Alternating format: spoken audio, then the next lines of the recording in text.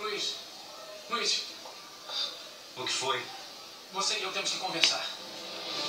Se não for sobre o projeto da Ilha Mulheres, eu não tenho o menor interesse em falar com vocês. Luiz, espera, por favor. Luiz, me escuta. O seu pai é Genaro Duarte, o dono da construtora mexicana? É, é sim.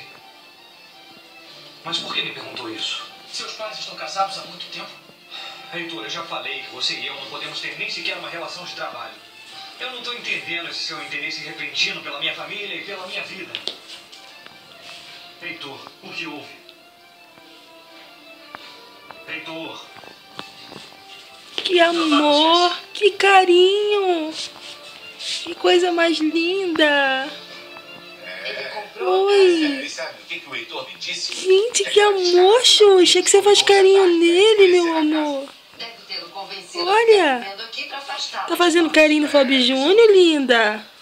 Ela calcula cada um dos passos. Meus amores. Sabia? que Ela sempre o Heitor na casa de campo.